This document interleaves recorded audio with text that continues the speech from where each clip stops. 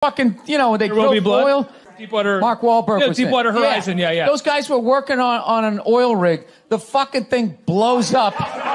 They're on fire. They got